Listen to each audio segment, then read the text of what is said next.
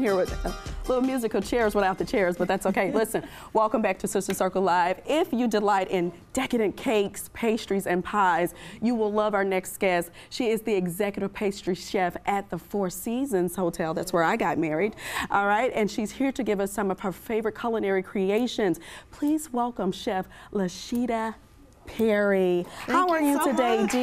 Happy holidays. Happy holidays. This is already amazing. Now, you know, I'm not really a sweet girl, but girl, I may take about four or five of those. You're not sweet, but you just had. 'Cause I'm I'm out with already- your cookbook though, so congratulations. Oh, thank so you so much, baby. Thank you. It's actually available on pre-order. So what are we doing here? I'm just saying. What are we doing here today, baby? We are making some whoopie pies, but Okay. today I just want to focus on the pumpkin whoopie pie. Okay. I do have some red velvet and matcha cookies and cream. Okay. But it's all about pumpkin today. All right. So we're going to start with the buttercream first. We use this buttercream for all the whoopie pies. And let me tell you, I love buttercream because it's not sweet.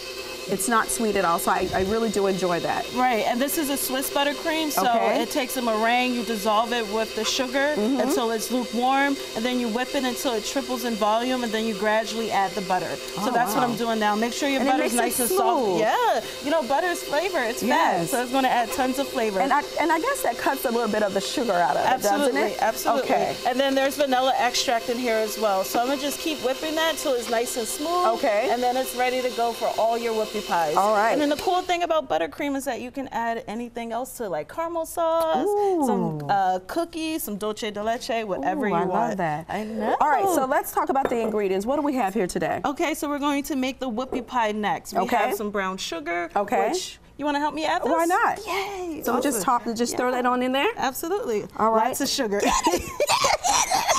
Okay, there you All go. right, more sugar. More sugar. All right. See, this is why you got to watch your waistline, honey. Okay, let's add the pumpkin puree. Okay, this is there. here. It's ready to go. Here's a Let's spatula go ahead and get that out of there. Oh, it's nice and creamy. Oh, yeah, you it want it to be smells so so so good. It so smells good. like the holidays, right? Oh, it does. Now tell me, did you always want to be a pastry pastry chef, and how did that come about? Nope. Next, you're gonna add the oil. No, I actually wanted to be a lawyer. Believe it or Well, not. how about that? I'm one of And eight, that- that's so we a love the debate. spectrum. Are we taking all this oil all in? that, all that oil. Okay. And then we're going to mix this. and the cool part about this recipe is that you don't need the KitchenAid for it. You can just do it by hand. Oh, it's all in wrist yeah, work. so you could be multitasking. Okay, Get your then. buttercream going, Okay. and you're making that. Okay. So it's a little workout in the beginning. in the beginning, but we're going to work you through this. it. You know, we've seen tougher times. I'll tell you that.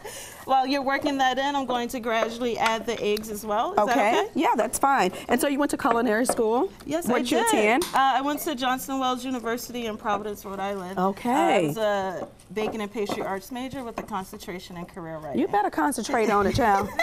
That's what You're they doing said. good, by the way. Oh, but honey. just lift up your whisk one second and just tap it. We gotta that get that out of there. Yeah, so it's nicely emulsified. There you go. Looking good.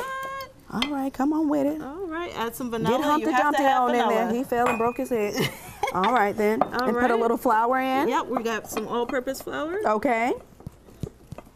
A little more all-purpose flour. This is a workout. I got to tell But you. you got this. Mm-hmm. Now And you've we shown your leavening baking. agents as well. So Okay, have just toss that on in there. Baking soda. But we have some salt, and you can't. You have to have spices. Okay. Cinnamon, ginger, All and right. uh, That's clove. really giving you that holiday feel right there. That's right. You're now, doing such a good you job, I'll have take been over for you. on. Yeah, cause see, let me tell you. At this point, I'd have had my blender out, child, and, and, and getting it in.